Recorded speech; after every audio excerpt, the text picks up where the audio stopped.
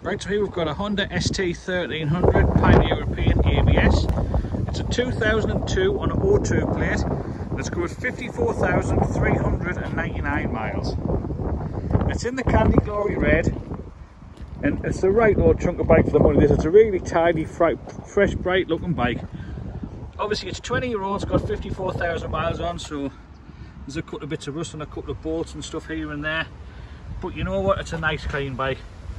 Bodywork's all really good, a little mark there, little mark there there. Now you wouldn't expect, it's not been repainted, it's all original. Little mark there.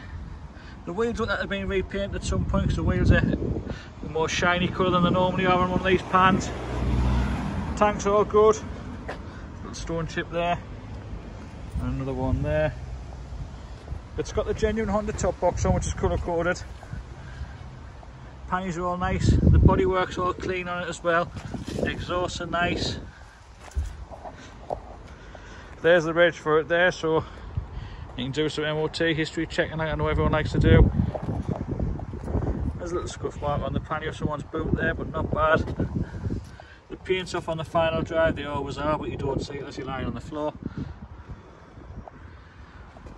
Little mark there. But all in all it's a really nice bright and shiny bike and for 3200 quid. It's a right chunk of thing this.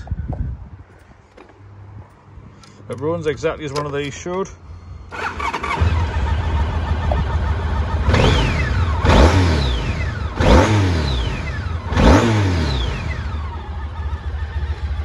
there you go. I think that's probably the biggest value bike i've got in the shop at the moment. Thanks for watching the video and i shall see you later